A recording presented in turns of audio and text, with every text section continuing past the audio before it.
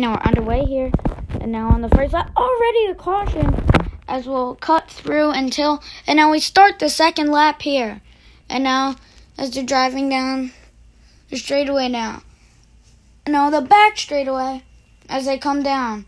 And now look at this. DiBenedetto takes the lead in that cool blue car for Motorcraft.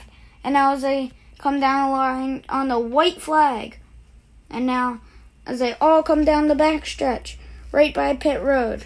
And then as they come down, this is it. Ryan Blaney wins the championship and that is it as he does a great burnout in that cool PPG orange car.